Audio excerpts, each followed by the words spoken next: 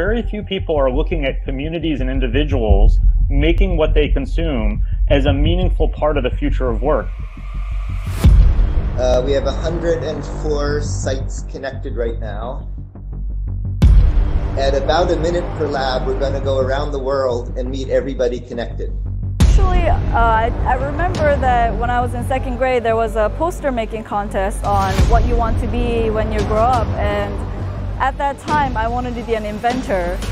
This is a class directly about how to learn the skills of digital fabrication today.